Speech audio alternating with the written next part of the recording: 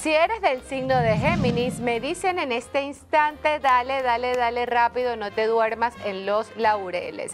Los geminianos se van a sentir como pez en el agua disfrutando, pero trata de acelerar un poco los tiempos para que tú justamente puedas disfrutar de tu tiempo libre.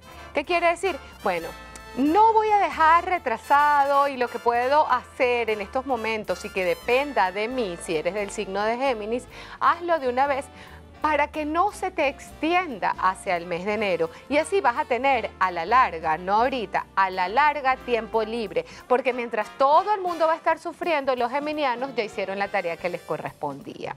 Por otro lado, si eres del signo de Géminis, mira, sabes que es bueno que guardes secretos. Como vas a estar buscando acelerar tiempos y hacer cosas, quizás no estés tan, vamos a decir, tan detallista y decir, esta persona puedo confiar y esta no, y vas a hablar con todo el mundo. Así que si eres del signo de Géminis, la recomendación es mantente un poco callado y guarda bien los secretos antes de que se entere gente chismosa y te vayas a arrepentir.